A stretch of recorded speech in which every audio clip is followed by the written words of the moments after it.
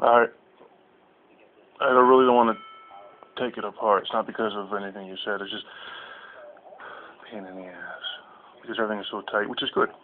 Uh, unlike my ex. Alright. What I'm to do is pull it off. I'm to show you. And I'm to put the flashlight down there because I don't want to pull this apart. Show you the flattened valve. And I got a cereal box over here. Alright, let's hit pause. Hey, don't mind, I got some crazy man talking in the background. Here's something also different. I have the barrel in there too, uh, whatever the technical name is, don't mind me. Medications make it a little hard for me to know what the hell I want to say next. Even though I know what I want to say, it just doesn't want to come out. Here's, hope you can see it. There's the RTV, which I made it flush with the work I did. I basically took it down, right down to there. I used a file I'm going to show you something, a little advice when using a file. See, a lot of people will sit there with the file and go back and forth.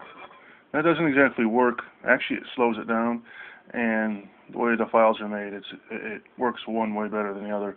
And you can see the work is smooth on the bottom of this, which has nothing to do with the gun here. I'm just showing you an example.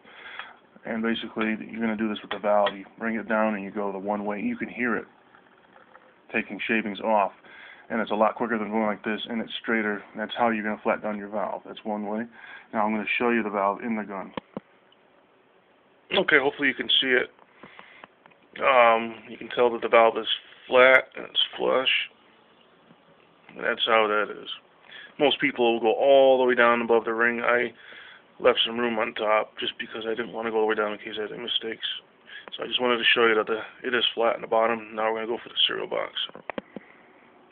Now what you're going to do is you're going to trim the, uh, leave the, of course it's got to have a unfired primer, primer on there, and you're going to cut it halfway down and you're going to stick that into the back of the uh, 1377 or 1322 and it takes 10 pumps to fire the primer and you're going to get a good shot. I'm bullshitting by the way, that's just throwing that in the video to bust your ass. Alright, I'm going to go to the cereal box. Okay, this is only one pump. This is about two inches away.